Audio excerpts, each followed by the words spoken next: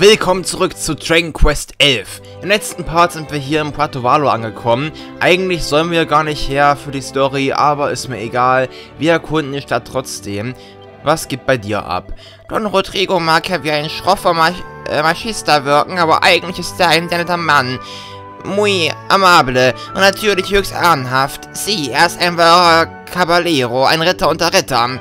Nur seinetwegen hat Puerto Valo sich zu einer friedlichen und blühenden Stadt entwickelt. Gracias, Don Rodrigo. Ja, wie gesagt, eigentlich sollten wir jetzt ganz woanders hin, aber das ist mir vollkommen egal. Wir erkunden Puerto Valor. Denn hier können wir auch ein paar Missionen annehmen, die wir auch noch später machen können, klar.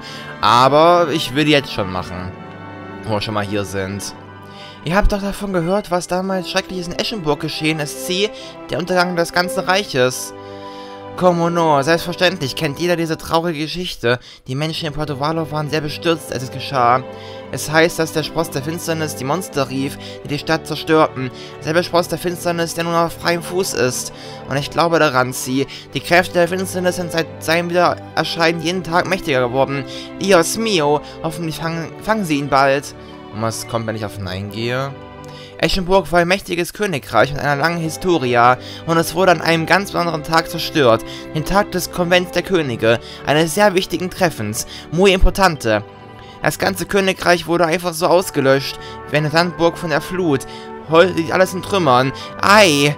Und wenn die Gesch Gerüchte wahr sind, ist der Spross der Finsternis wieder auf freiem Fuß. Das ist die Kreatur, die damals die Monster rief, die Eschenburg zerstörten. Ei, de mi.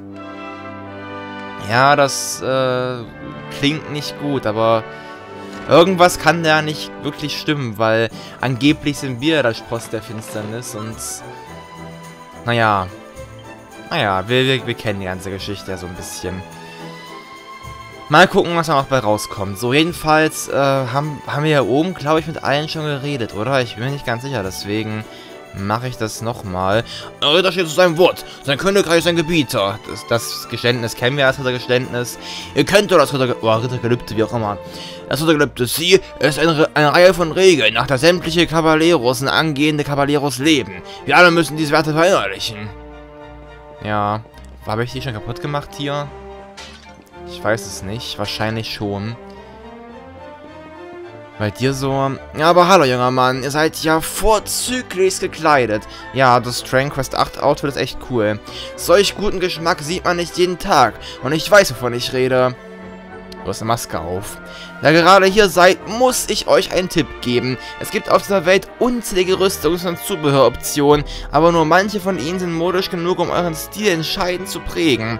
Andere wiederum ändern euren Stil nur, wenn ihr die vollständige Kollektion tragt.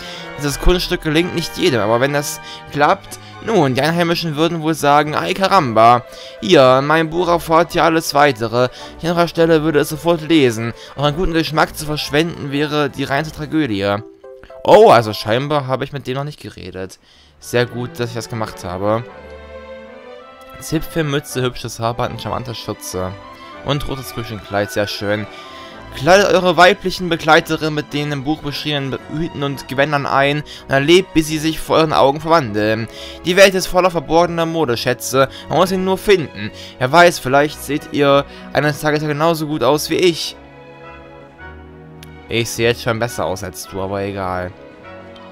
Willkommen in Batovada, der Stadt der blühenden Blumen und der frischen Seeluft. Nirgendwo gibt es klares Wasser oder weißeren Sand als hier. Nosenor oder so ähnlich. Hä? Ihr sucht einen Händler an einem Zweig, der in den Farben des Regenbogens schillert? Sie, ich glaube, ich habe diesen Mann gesehen. Er wurde zu Don Rodrigos Villa. Wenn ihr diese Treppe runtergeht, findet ihr die Villa Alla Izquierda zu eurer Linken. Sie ist das größte Gebäude der Stadt, nicht zu verfehlen. Kann es eigentlich sein, dass in der Stadt hier so ein bisschen spanischer Dialekt ist und in ähm, der anderen Stadt, in Gondolia, halt italienischer Dialekt war? Kann das sein? Ich weiß es nicht genau ob das wirklich so ist. Aber ich glaube, ich, ich, ich glaube, so von der Sprache her äh, passt das irgendwie. Ich habe in dem verflixten Casino all meine Kohle verprasst. Da komme ich echt raus Heliodor her, damit ich auch endlich mal Glück habe. Aber wie es aussieht, geht es mir von jetzt an bloß noch dreckiger. Ja. Tja, Casinos sind böse. Da sieht man es mal wieder.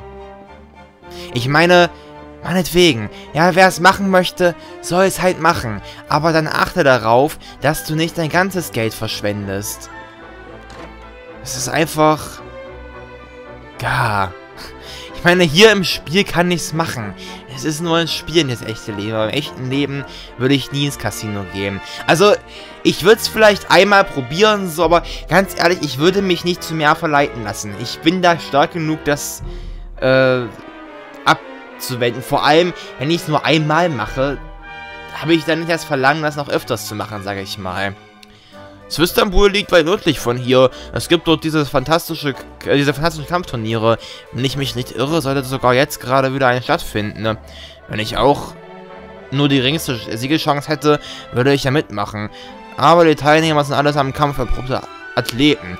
Jemand wie mich würde die an die Wand klatschen. Das wäre nicht so cool. So, ich muss mich einmal ganz kurz heilen, deswegen übernachten wir mal hier. Das andere Hotel in Porto Valo ist viel größer als meines, aber ich bin schon seit Jahren hier und gehe nicht so leicht auf. Also, ähm, ja. Hier kann man kurz übernachten. Wie gesagt, hier gibt es sogar zwei Hotels, wie er gerade gesagt hat. Ich glaube, das andere ist sogar ein bisschen teurer, wenn es mir nicht täuscht. Ich weiß nicht mehr genau. Das werden wir dann gleich sehen, wenn wir zum anderen Hotel hinkommen. Hier ist noch ein anderer Eingang. Aber ich wollte noch ins obere Stockwerk gucken, bevor wir hier wieder rausgehen. Was es noch Spannendes gibt. In dem Schrank zum Beispiel ein Reisegewand. Das verstehe ich nie in den Dragon Quest Spielen. Man kann einfach immer irgendwelche uralten Ausrüstungsgegenstände in den Schränken finden. Aber die bringen einem halt einfach nichts mehr. Die sind da, es ist cool, dass man sie finden kann, aber irgendwie... Was will ich jetzt noch mit einem Reisegewand, sag ich mal. Das ist einfach ein uraltes Ausrüstungsstück, was mir halt gar absolut keinen Vorteil mehr bringt. Nicht mehr annähernd. Deswegen, wie gesagt, das ist cool, dass man es finden kann, aber auch gleichzeitig ziemlich unnötig. Kann ich runterspringen? Nee, kann ich nicht. Und hier? Auch nicht, schade. Ich meine, es ist, ist, irgendwo ein bisschen realistischer, klar, dass du einfach in irgendwelchen äh, Schränken solche Sachen findest, aber Trotzdem. Achso, die Tür bitte auf. Ich habe auf A gedrückt. Liebes Spiel. So, was haben wir sonst noch hier? Gehen wir erstmal in die Richtung von der Stadt. Dem Bereich. Bevor wir in Richtung Villa von Don Rodrigo gehen. Da gehen wir auch noch hin, keine Sorge, aber erst später. Wundermittel, sehr schön. Mihijo, mein Junge, ist an der Ritterausbildung bei Don Rodrigo. Ah ja, aber ich sorge mich sehr um ihn. Sieh, jeden Abend kommt er so erschöpft nach Hause, dass er gleich ins Bett fällt. Und Caballero zu werden, ist wirklich nicht einfach. Das kann ich mir vorstellen. So. Sonst noch irgendwas hier zum Erkunden? Ein Schrank mit einem roten Kleinod. So ist okay. Die kann man ja gut benutzen für irgendwas vielleicht mal. Aber so ein Reisegewand brauche ich halt absolut nicht. Aber egal. Kann man verkaufen für ein paar Münzen oder so. Oder vielleicht braucht man später doch nochmal, keine Ahnung. Hola, Senor. Soll ich euch etwas Spannendes ver verraten? Im Hotel gibt es eine Senorita, bei der ihr Mini-Medaillen gegen seltene Schätze eintauschen könnt. Feine Sache, was? Ei, hätte ich doch bloß eine Mini-Medaille. Ihr wisst nicht zufällig, wo ich eine finden kann, oder?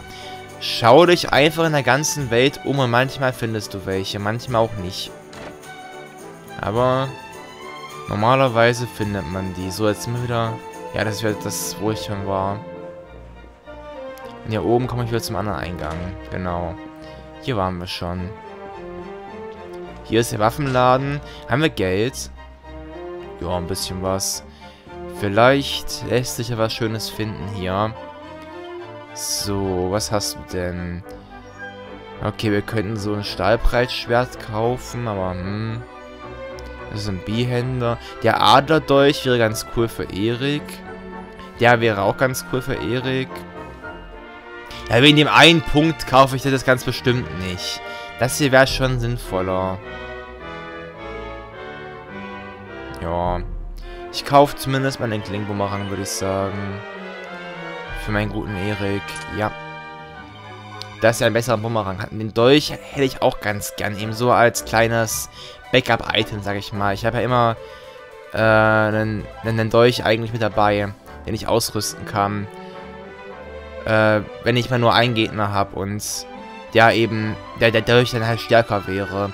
Aber ich muss unbedingt ein bisschen Geld irgendwie wieder ran schaffen mal. So langsam. Wir haben halt kaum was. Hier gibt es so tolles Zeug, aber... Oder habe ich vielleicht irgendwas, was ich nicht benutzen kann zum Schmieden oder so, was ich mal weghauen kann? Weil das meiste, was wir haben, das, das brauchen wir halt früher oder später mal zum Verkaufen. Wobei, das, das Golderz, ich glaube, das ist nur zum äh, Verkaufen. Zumindest war es in anderen Dragon Quest Spielen so. Das konnte man nicht zum Schmieden benutzen, glaube ich. Oder, nee, war das Golderz? Irgendwas mit Gold war das auf jeden Fall. Aber nee, wir haben ja nichts, was ich verkaufen kann. So, egal. Ich werde, wie gesagt, mal irgendwann mich darum kümmern, ein bisschen Geld ranzuschaffen. Mal offscreen. Das Tagebuch von Tetsu, dem Schmied. Ah, guck mal, hier haben wir das Tagebuch wieder. Teil 3, Tod des Traumes. Tetsu heiße ich. Ich bin nun 48 und Schmied vom Beruf. Schwarze Enttäuschung. Die Schule der Medaille nimmt nur Mädchen auf. Die Wache am Tor versperrt den Weg zur Weisheit. Also stirbt mein Traum. Warte, äh, warte auf mich, Mutter. Bin auch kein Meisterschmied. Blumen bringe ich dir. Ja, die Medaillenschule. Die scheinbar nur Mädchen aufnimmt, wenn wir ihr Glauben schenken können, was er jetzt hier geschrieben hat. Wer weiß, wer weiß. Er wollte ja lernen, wie man die Mini-Medaillen schmiedet und scheinbar werden da nur Mädchen aufgenommen in der Schule. Gut, ansonsten, hier haben wir noch ein paar Schränke, aber die kann man nicht untersuchen oder so. Hola, Senor, ihr kamt über das Meer hierher, Sie. Habt ihr vielleicht eine merkwürdige Lichtsäule auf dem Ozean emporsteigen sehen? Nein. Die sollen erscheinen, wenn die Macht der Meeresgottheit nicht eingedämmt werden kann. Angeblich ist sie ein Tor zu einem verborgenen Königreich unter dem Meer. Das klingt auf jeden Fall interessant. So verborgene Königreiche, irgendwelche Unterwasserreiche gibt es ja oft in Videospielen. Gab es auch schon mal in Dragon Quest. Dragon Quest 6 zum Beispiel. Wer weiß, was wir hier finden können. Oh, guck mal, hier ist eine äh, Kundin oder was, die war vorher nicht da. Für einen Abenteurer ist jeder Hafen der Ausgangspunkt einer neuen Geschichte. Das ist ein altes Sprichwort, aber es steckt viel Wahrheit darin. Man sollte sich nie die Chance entgehen lassen, neue Orte zu erkunden. Wer weiß, welche Kreatur oder Schätze man dort vielleicht findet. Und genau deswegen erkunde ich auch gerade Prato Valor. Obwohl es die Story von uns noch gar nicht möchte, mache ich es jetzt schon. Einfach nur, weil ich wissen möchte, was wir jetzt hier schon für Schätze finden können. Hallo, Hundi. No. Bist du süß. Und das ist auch gerade so schön, einfach diese Pflanzen hier. Ich finde die Stadt allgemein so schön. Alles in so einem schönen Weißton. Das ist einfach voll die Ferienstadt halt. Ich liebe das. Wir sind Urlauber aus dem hohen Norden. Bei uns schneit es immer wir wollten unbedingt einmal ans Meer, bevor wir zur Zeit für die weitere Reise sind. Ich bin also froh, dass wir es geschafft haben. Mein Mann freut sich über die geringsten Kleinigkeiten wie ein Schneekönig. So fröhlich habe ich noch nie erlebt. Das ist einfach herrlich. Das freut mich für euch beide. Ich stamme aus einem eisigen Land im hohen Norden, aber hier gefällt es mir viel besser. Alles ist so frisch und sauber. Ach, ich kann mich gar nicht daran satt sehen. Schaut euch nur das Meer an. Seht ihr, wie, in der, wie es in der Sonne glitzert? Spürt ihr salzige Prise im Gesicht? Es gibt einfach keinen schöneren, keinen schöneren Ort als diesen. Ich schwebe ein bisschen in der Luft, hätte das? Weil ich noch eigentlich auf der Bank stand, so ein bisschen. Deswegen, das ist interessant. Oh Mann. So, und hier haben wir eine Quest bei dem Typen. Das ist doch nun wirklich nicht zu viel verlangt, oder? Wenn er mich schon so bald wieder nach Hause schleppen will, kann er mir ja wenigstens ein nettes Andenken besorgen. Und die Korallen, die man von diesen rosafarbenen Monstern hier bekommt, das ist einfach wunderschön. Also habe ich ihm gesagt, dass ich nirgendwo hingehe, bis er mir nicht so eine Koralle besorgt hat. Oh je, da bin ich ja schön in die Zwickmühle geraten. Ich muss zurück nach Hause, weil die Arbeit ruft. Aber wenn ich meiner Frau nicht das Objekt ihrer Begierde beschaffe, wird mein Leben zur Hölle. Oh, entschuldigt. Das ist für meine Frau und mich der erste Urlaub seit Jahren, weil meine Arbeit so viel Zeit in Anspruch nimmt. Ich hatte gehofft, wir könnten uns hier eine kleine Auszeit gönnen. Aber jetzt will sie erst wieder mit mir nach Hause kommen, wenn ich ihr eine rosa Koralle besorgt habe. Das Dumme ist, dass man sie nirgendwo kaufen kann. Nein, man muss sie einem Korallenschrat abbringen. Ich weiß ja, dass ihr nicht die Be dass ich ihr nicht die Beachtung geschenkt habe, die sie verdient hat. Und ich würde es nur zu gerne glücklich machen. Aber gegen Monster kämpfen, das ist nicht gerade mein Spezialgebiet. Ihr hingegen scheint den Kämpfen nicht abgeneigt zu sein. Ihr werdet nicht zufällig bereit, die Koralle an meiner Stelle zu beschaffen. Es würde sich auch für euch lohnen. Natürlich, das machen wir für dich, keine Sorge. Gut, äh, ja, das sind aber Costa, äh, Costa Valor. Haben wir auch im letzten Part schon gesehen. Das sind die gleichen Monster, die wir auch schon mal in dieser äh, Grotta della Fonte gesehen haben. Die waren, da, das war der, der, der Bosskampf quasi. Also ein Boss war es nicht wirklich, aber der Kampf am Ende eben, bevor wir das, das Wasser uns holen konnten. Das war so ein Korallenschrat. Und die haben wir hier in der Nähe auch schon gesehen gehabt. Also, zu denen kommen wir noch. In der östlich von hier, liegt ein mächtiges Königreich namens Heliodor. Dort lebte einst Una Prinsessa, eine junge Prinzessin namens Jade. Doch ach, Aidemi, sie ward seit vielen Jahren nicht mehr gesehen. Nicht seit dem Konvent der Könige, als Eschenburg zerstört wurde. Alle glauben, der Lichtbringer hätte sie getötet. Oder vielleicht sollte ich besser sagen, der Spross der Finsternis. In Realität, in Wahrheit weiß niemand genau, was in jedem Tag geschah. Und als ich das Spiel zum ersten Mal gespielt habe und hier in der Stadt so einiges über äh, Jade und ja, die, die Prinzessin und so gehört habe, habe ich mit, mit, mir schon voll die Theorien gesponnen, was mit der gewesen sein könnte und so. Man findet auch später in einem Buch noch einiges über die raus. Das war echt cool, das Spiel zuerst mal zu erleben und da eben einiges sich ähm, denken zu können, was da hinterstecken könnte. Jetzt weiß ich natürlich schon, was mit Jade ist und deswegen, ja, bisschen schade, aber egal. Die Leute stehen schon vor den Öffnungszeiten vor dem Casino Schlange, weil er die äh, an diese schleimige Schlossspielautomaten wollen. Und die besten davon scheinen heiß begehrt zu sein. Wenn die Leute ernsthaft so lange warten, nur um an diesen Automaten zu spielen, müssen sie wirklich etwas Besonderes sein. Vielleicht sollte ich das mal auch mal probieren. Mach's lieber nicht. Einmal habe ich Prinzessin Shake gesehen, als ich noch Una Ninita war, ein kleines Mädchen. Damals war wir zu Besuch in Heliodor. La Bonita, sie war so bezaubernd, wie eine kleine Fee. Ich war sicher, ich habe mir sicher, dass sie einmal noch schöner sein würde als die alte Königin, ihre Mutter. Aber ich habe gehört, dass sie getötet wurde, als Eschenburg unterging. Eieiei, das Schicksal hat dieser Familie wirklich übel mitgespielt. Ja. Ich glaube, bei dem Ereignis ist auch der... Ist auch die, die, die Königin gestorben. Also der... Äh, die Frau vom König von Heliodor. Und da kann man ja auch so ein bisschen nachvollziehen, dass der König ein bisschen wütend auf den Lichtbringer ist, weil, ja, die Monster halt angegriffen haben an dem Tag, als der Lichtbringer zur Welt kam, wie auch immer. Aber trotzdem ist es kein Grund, ihn Spross der Finsternis zu nennen. Das ist einfach sinnlos. Buendi Senior, ich tanze im Puerto Valor. Ihr habt doch El Guitarista auf der Brücke gesehen, sie. Er begleitet mich abends, wenn ich am Strand tanze. Die kann man auch wirklich am Strand tanzen sehen. Ihr solltet auch kommen und zusehen, dass Nachtzeit. Ich verspreche euch, dass ich euch verzaubern werde. Insig Inseguramente. Ihr werdet euch in Puerto Valor verlieben und nie mehr gehen wollen. Hehehe. das glaube ich nicht. So, und hier kann man ins Casino reingehen. Wir gehen mal ganz kurz rein, aber ich werde jetzt ja nicht spielen oder so. Ich habe auch in meinem Original-Let's Play hier im Casino kaum gespielt. Bloß am Ende des Projekts, wenn man das für eine Trophäe auf der PS4 machen musste. Und es gibt auch einige von den Titeln, die mal zusammenhängen mit dem Casino. Also da kann man schon einiges machen, aber wie gesagt, ich mache es nicht so gern. Vor allem, ich finde es einfach mega nervig, hier im Casino irgendwie, ähm, ja, die, die, diese Spielchen zu machen. Die Musik, die ihr spielt, the way aus Dragon Quest 7, das Casino-Theme.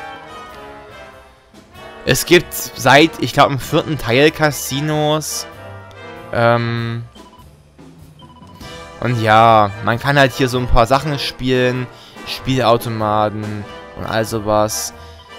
Es gibt auch, glaube ich, Poker und irgendwelche, äh, irgendwelchen so ein Kram. Ihr könnt halt hier gern durchlesen, was die Frau sagt. Und dann das Video pausi äh, pausieren, um das durchlesen zu können. So, nein, bin ich nicht. Bla bla bla. Sie gibt einem halt so Tipps, an welchem Automat man spielen sollte, glaube ich. Und ja, jedenfalls ist es schon ganz cool und so. Aber ganz ehrlich, äh, ist ein nettes Minispiel, aber ich mach's halt nicht gerne. Weil man hier auch wirklich teilweise viel Glück braucht und äh, ja. Ja. Das habe ich nicht unbedingt. Es war wirklich nervig in der PS4-Version, die äh, Titel zu bekommen, die mit der Trophäe zusammenhängen oder zusammenhingen. Man muss, man muss auch für eine Quest im Casino was hinkriegen. Also das sage ich auch schon mal für eine spätere Quest. Und die ist auch so nervig. Ich habe diese Quest gehasst, aber ich werde sie auch in dem Let's Play nochmal machen müssen, weil ich will auch auf der Switch-Version alles ähm, zu... Also, also äh, alle Quests lösen. Deswegen wird das wohl ein bisschen nervig werden. Aber ich... Ich habe mich dazu zwingen. Irgendwie. Es ist wirklich nervig, aber kann man jetzt nichts ändern. So. Ja, und hier hat sie auch gesagt, es gibt wirklich Poker. Und scheinbar sind die Kartengeberinnen Schwestern. Spannend. So, und die spielen ja alle schön. Er ist eine Wache. Okay. Dass niemand irgendwas manipuliert. Was machst du hier? Äh. Okay. Tja, auf Wahrsager sollte man halt auch nie hören. Wer weiß, ob das echte Wahrsager sind. Ich meine, äh, ich glaube an sowas nicht. Aber in der Welt von Dragon Quest könnte sowas halt wirklich existieren, weil es ist eine Welt, wo es Magie und Zauber gibt und sowas in der Art. Aber im echten Leben glaube ich nicht an Wahrsagerei und irgendwelche Horoskope oder so ein Kram. Also, äh, ja, sagt mal an. Ähm, okay. Ja, nie lichtet sich. Okay. Heute wird euch am Pokertisch kurz Glück zuteil werden. Alles klar, aber ich, ich, ich will wie gesagt nicht spielen. Ich mache das auch nicht. Ich mache das erst, wenn wir es machen müssen für die Quest, wie gesagt. Das dauert auch noch ein bisschen, bis wir die Quest annehmen können. Und es ist echt ein nerviger Quest, definitiv. Ich mag die echt nicht. Hier sind diese Pokerfrauen halt. Äh, nee, ich will keinen Poker spielen. Nein, nein, nein. So, nee, will ich nicht. Ich möchte kein Poker spielen. Ich will nur mit euch reden. Was ihr Spannendes sagt. 100 Chetons. Nein, nein, nein. Ich will kein Poker spielen. Bei dir so... Nee, nee, nee. Nein, danke. So, und der kann ich aufhören zu lächeln. Alles klar. Ihr die Spiele schon gepackt. Wie man sehen kann. Was, was hast du hier? Huhu. Äh, nee, hast du mir schon erklärt. Bei der war ich also schon. Wir waren hier hinten, glaube ich, noch nicht. Äh, ja, sag einfach mal. Okay, ja, toll, steinige Schlotz. Das ist halt das Minispiel, was man hier spielen kann. Da gibt es auch noch ein paar. Man hat auch später noch andere und so. Also, es ist schon... Man kann schon ein bisschen was hier machen, aber wie gesagt, es ist einfach nicht so... Es ist einfach nicht meine Welt, das Casino. Ich mag es einfach nicht. Was liegt denn da? Oh, Tombola... Okay. Das ist, glaube ich, neu. Gab es in der PS4 weiß ich auch schon? Ein Tombola-Ticket. Und wenn ja, äh, warum habe ich es nie gehabt und wofür braucht man das? Nee, ist ja nicht kräftig ab. Okay. Was ist, wenn ich auf Ja gehe? Okay. Was ist hier? Oh! Ach, ups! Das wollte ich nicht. Äh, ja, dein Kartenhaus ist fertig nicht. Geh lieber mal schnell weg, bevor der merkt, dass ich dein Kartenhaus zerstört habe. Ich glaube, dann lebe ich nicht mehr lange. Oh Mann.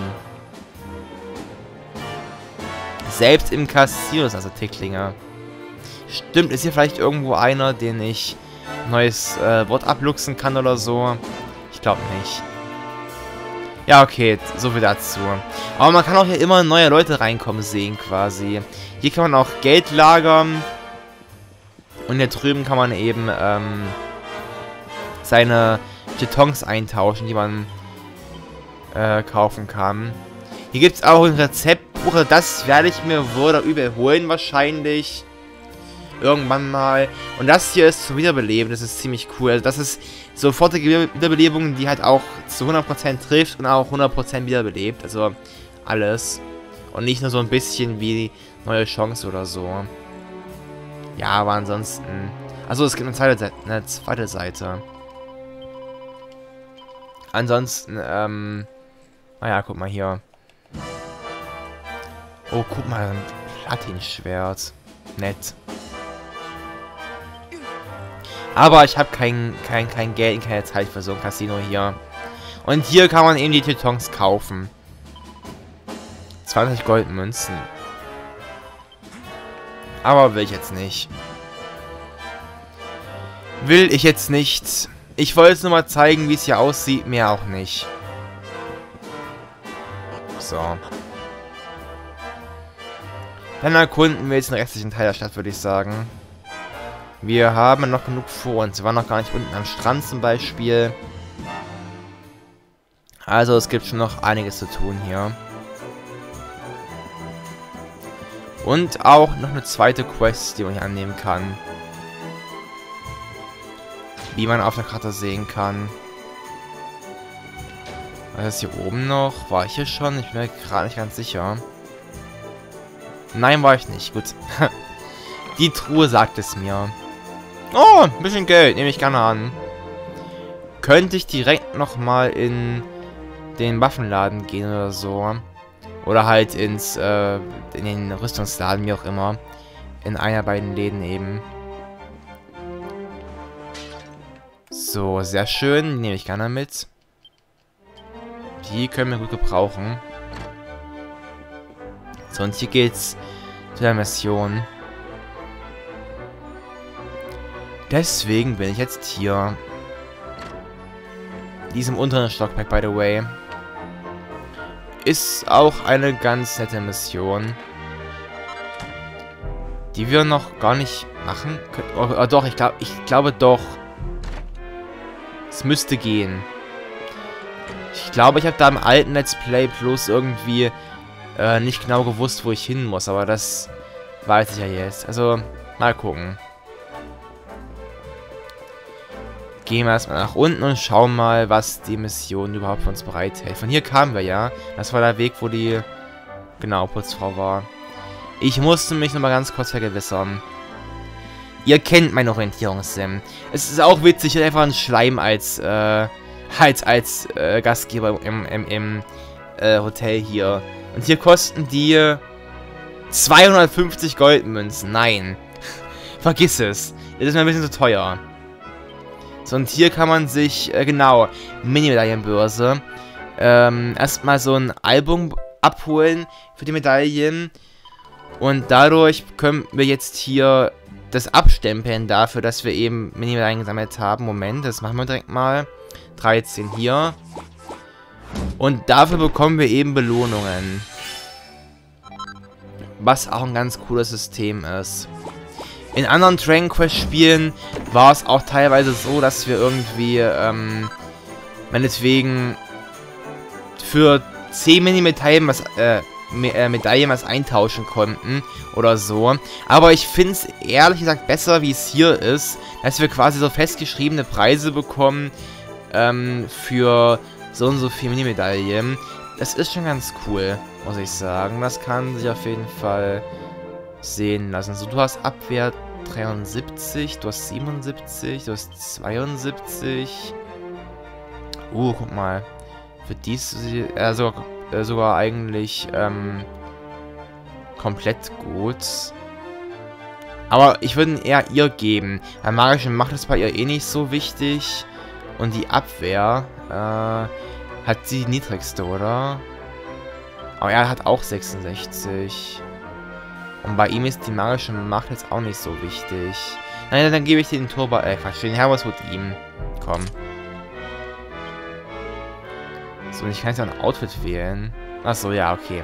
Das Tänzerin-Kostüm, was ich gerade auch anhabe.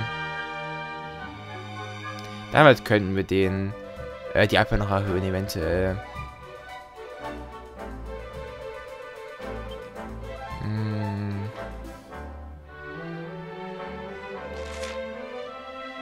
Ja, Flinkheit geht halt runter, dadurch. Und hier würde der Charme um einen runtergehen. Rüste das aus, du brauchst mehr Abwehr. So, sehr schön. Was du hier lesen oder was? La Senorita hat mir erzählt, dass sie den weiten Weg über das westliche Gebirge zurückgelegt hat, um Medaillen zu sammeln. Hi, diese Medaillen müssen besondere Kräfte bejagen, wenn jemand dafür solche Mühen auf sich nimmt. Mir kommt alles völlig loco vor. Wer weiß, wer weiß. Diese besonderen Kräfte werden wir vielleicht auch kennenlernen, wenn wir die Medaillenschule, von der jetzt schon oftmals geredet wurde, ähm, besucht haben. Wer weiß, wer weiß. Falls die wirklich irgendwelche Kräfte haben oder so. Genau, die Pforten sind nicht geöffnet, deswegen können wir auch nicht auf die offene See momentan. Oh, ihr habt geheiratet, das ist doch schön. Das ist doch schön. Glückwunsch von mir. Jedenfalls aufs offene Meer kommen wir noch früher oder später, aber momentan eher nicht. Was ich schade finde, aber... Ja, das Meer öffnet sich halt im Laufe des Spiels. In manchen Dragon Quest Spielen kannst du ja sofort das ganze Meer bereisen. Äh, bereisen vor allem. Bereisen, aber hier braucht man eben erstmal so ein bisschen Zeit, bis das ganze Meer geöffnet wird. Finde ich auch eigentlich gut, weil das so ein bisschen deine Möglichkeiten eingrenzt. Aber gleichzeitig stoppt es eben auch den Erkundungsdrang. No, nein, nein, nein. Ohne fundigen Pfeffer stimmt der Geschmack einfach nicht. Da beißt die Maus keinen Faden ab. Nein, lo Senior. Tut mir leid, dass ich soll. Äh, tut mir leid. Ich sollte in der Küche nicht so wütend werden, aber für meine Spezialität brauche ich unbedingt eine Prise fundigen Pfeffer. Und ich habe gerade keinen. Wisst ihr, ich importiere meinen Teffer immer aus Gondolia, aber in letzter Zeit ist er dort sehr knapp geworden. Anscheinend greift eine Bande hinterhältiger Piratas immer wieder die Gond gondolianische Handelsflotte an und plündert die ganze Ladung meines geliebten Gewürzes. Los Brutos, verflucht seien diese Hunde. Leider sind sie ebenso gerissen wie grausam. Guter Pfeffer ist Muri Precioso, sehr wertvoll. In diesem Breitengraden ist ja auch als Oro Gris bekannt. Graues Gold. Ich will gar nicht daran denken, wie teuer er werden wird, wenn dieser Delinquentes den Markt kontrollieren. Senior, seid doch stark und erfahren. Sie, wäre vielleicht bereit, meinen fundigen Pfeffer für diesen Piratas zu entreißen? Natürlich. Das machen wir im nächsten Part wahrscheinlich. Da, ja, ich, ich, ich, ich weiß, wo ich dafür hin muss. Da war ich im Original Let's Play erstmal ein bisschen verwirrt, wo genau ich eigentlich hin muss, aber inzwischen weiß ich das. Gut, ich würde sagen, das war's aber für diesen Part erstmal. Im nächsten Part schauen wir uns den Strand noch an und dann auch den Bereich, wo ähm, Don Rod... Nee, Don... Wie, wie heißt der Don, Don hier? Ich habe jetzt gerade vorher den Namen irgendwie verwechselt. Und Don Rodrigo war der aus Gondolia, oder? Egal, ihr wisst, wen ich meine. Das war's vom heutigen Part. Bis dann, ciao. Abbey Road. Tschüss.